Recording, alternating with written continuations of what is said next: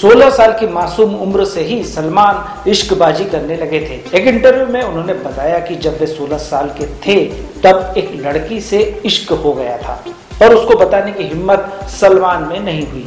वे डरते थे कि लड़की ने ना कह दिया तो उनका दिल टूट जाएगा।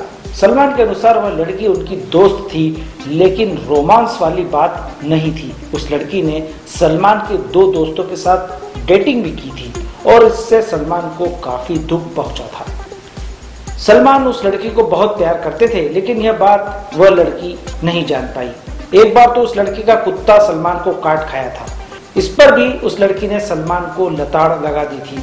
सलमान समझ गए कि उन्हें न वो लड़की चाहती है और न ही उसका कुत्ता।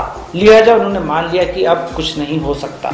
सलमान ने उस लड़की का नाम नहीं बताया, क्योंकि नाम बताने से उस लड़की के निजी जीवन पर भी असर पड़ सकता है। वे तो पिछले 35 वर्षों से उस लड़की से मिले भी नहीं।